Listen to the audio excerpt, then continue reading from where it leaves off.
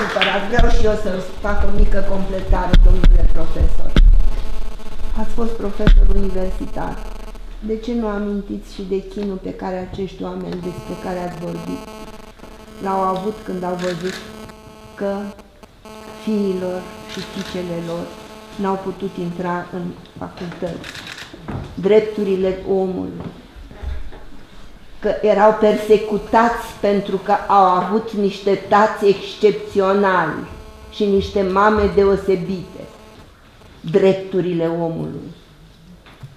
Vorbim astăzi despre drepturile omului fără să amintim că oamenii aceștia n-au avut dreptul nici să aducă pe lume niște oameni egali cu ceilalți.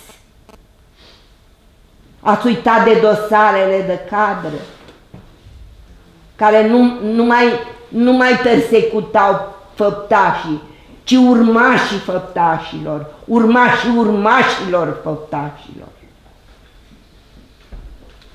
Mulțumim pentru completare. Sunt astfel de relatări în numerele reviste Memoria și vor fi în continuare.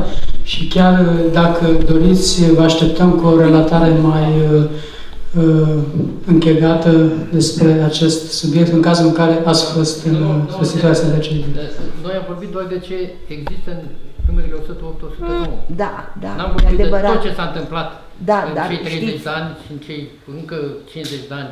Bineînțeles că sunt lucruri... Da, e nevoie de memorie. E nevoie, dar și acest lucru. Că Mulțumesc. n-au avut nici dreptul să aibă copii egali cu ceilalți. Mulțumesc, domnule profesor, mulțumesc și noastră pentru intervenție.